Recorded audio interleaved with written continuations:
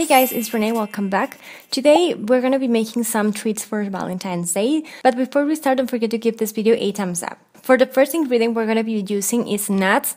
How many depends on how many you want to have in your treats, but this is how much I used per 8 uh, hearts.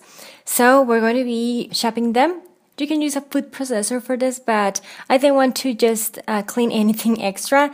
And I kind of want to have like the control of how big or how small my pieces are. But just, you know, if you want to, you can use any other method you like. My second ingredient is going to be chocolate. Using half a cup of this chocolate chip and we're going to be tempering or melting it once we start.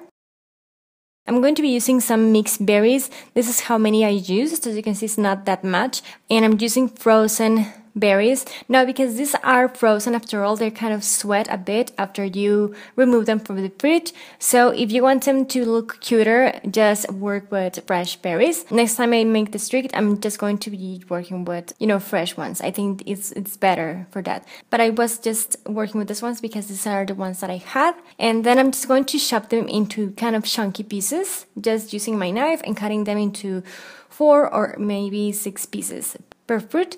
But uh, the strawberries are going to give you much more because they're bigger.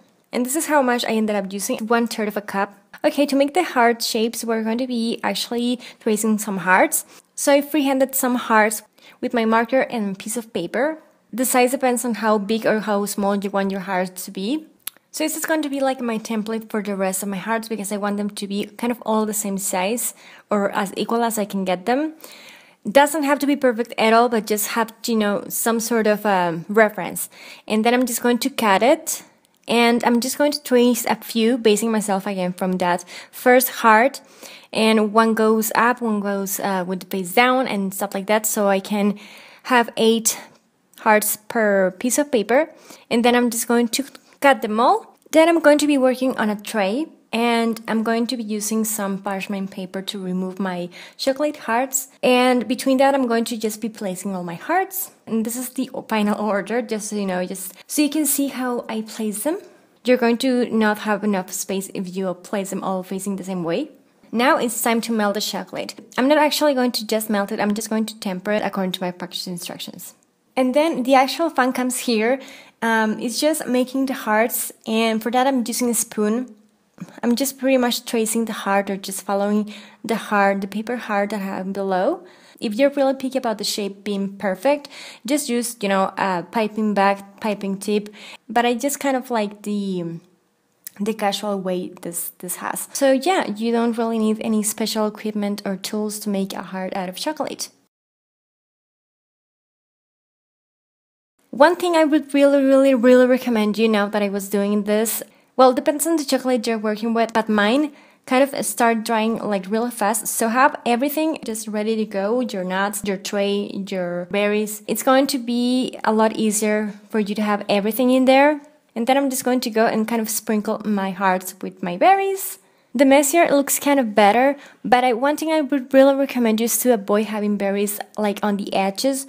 You're going to see why later on. The berry starts to sweat that transfer into the edge of the chocolate. And just try to work like not like super in the center of the heart, not too much on the edges. Do you get my point? And then I'm just going to sprinkle the whole thing with my nuts as you can see, my first two hearts were just drying, so that's why I was mentioning to just act fast or just, you know, have it, everything ready to go. I'm going to put this though on the fridge and give it a good half hour to just set. And then I'm just going to peel the whole thing by just doing this. It's pretty simple, should come right up. And we have really cute hearts made out of chocolate, berries, and nuts. They are super delicious. But yeah, and you can see up close how the berries are acting. So just try to work with fresh fruits. I chose chocolate because it's one of those decadent flavors. It's so romantic. I hope you like it. Hope you give it a try. Don't forget to give this video a thumbs up share it and subscribe to my channel for more stuff. So thank you for watching and happy Valentine's. Bye guys.